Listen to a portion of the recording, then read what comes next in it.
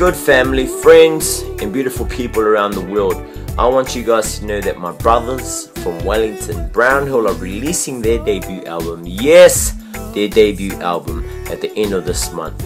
And I'm coming to you live and direct from Auckland to let you guys know that you guys must, and it's a must, purchase this album.